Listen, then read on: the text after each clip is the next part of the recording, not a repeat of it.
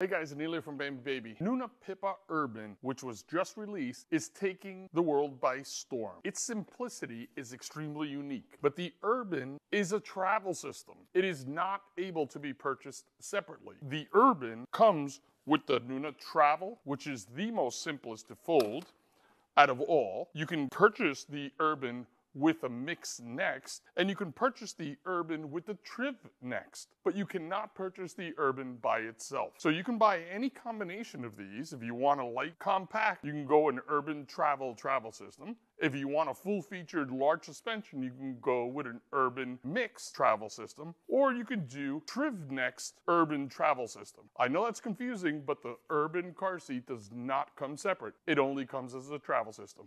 I hope that's helpful. Please leave any comments below.